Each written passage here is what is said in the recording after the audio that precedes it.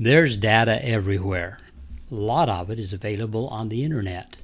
We're going to look in this video at getting some data from the internet, processing it so that we can use it in R, and then discovering some interesting connections in R. So I'm going to do a Google search for Spurs stats, see if we can find something about the Spurs basketball team. There's the 2014-2015 season. Let's look at some information there tells a little bit about uh, the roster and some games that were played. Oh, let's look at this one, the totals. Notice here if we if we hover over the names in this header, the age of the player, the games, the games started, and so on, and up to the personal fouls and the points earned during that season. And even better than that, look at this. We can export that file. We can download it as a downloadable file suitable for Excel. Actually, that file is going to be a comma separated variable file. So I'm going to export that file. It's showing us what the comma separated variable file looks like and it's been uh, been downloaded to my computer.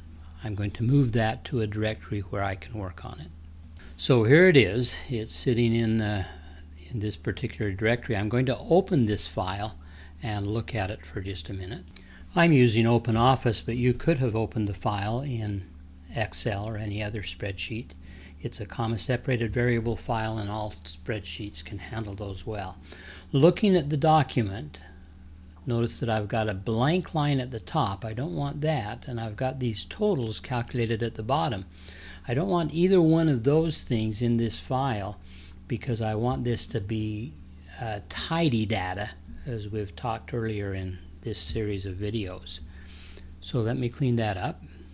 So here we've cleaned up the data. The top row is really a header and that bottom row with the totals has been removed. So there's the same raw data that was available uh, on the website. I'm going to save that back on top of the same file that it came from. So there's the file that we just edited. We want to be able to get that file into R, so let me start up R. Here's an R console. Um, let's uh, get the working directory and notice that it is not the directory that we've got this stored in so I need to set the working directory to uh, to be where the file. So there we're setting the working directory to be where our file is.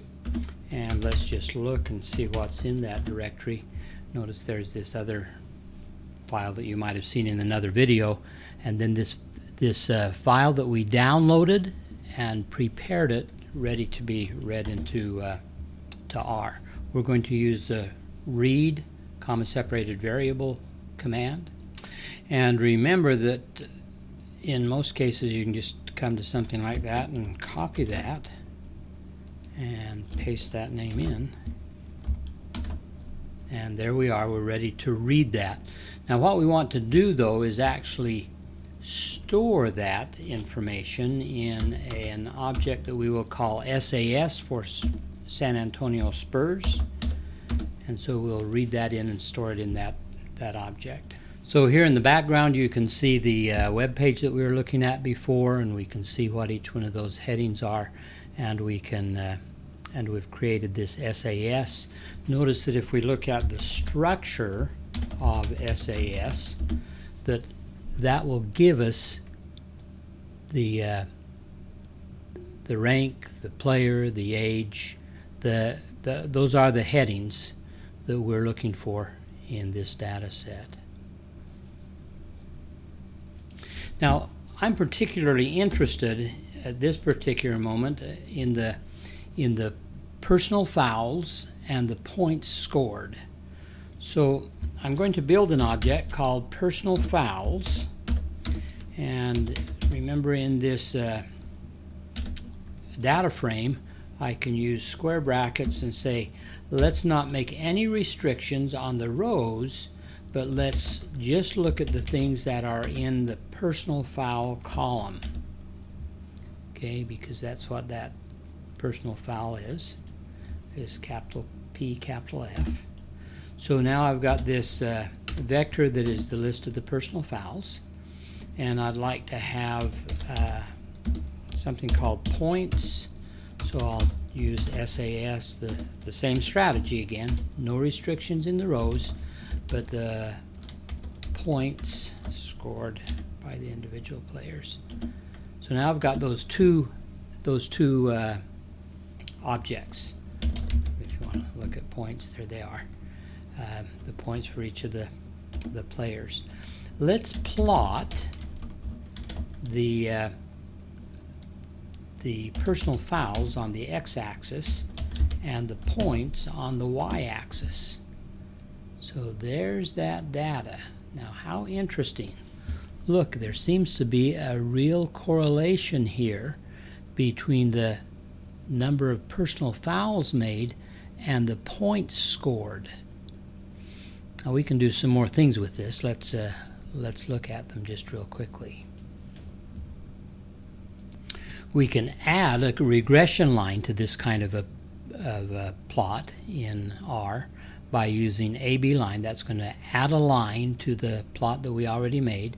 We're going to look at the linear model of the points being predicted by the personal fouls. And that produces, adds this line to that. That's the regression line. It's, it's not a real tight correlation here, but there definitely is a, a correlation here. So maybe as a as a coach, we could could say, okay, players, go out there and just start committing personal fouls because there's this correlation between the personal fouls and the points that are scored. Well, of course, you recognize that as being ridiculous. This is a there's got to be a confounding um, variable here somewhere. That's it, the the personal fouls is not the cause of the points scored. There must be something else that that's causing personal fouls and the number of points that are scored. You might think about that and try and decide what it might be.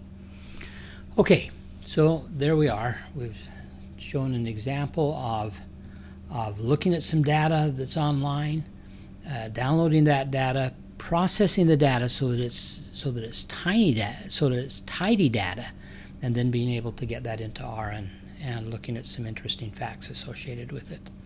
Okay,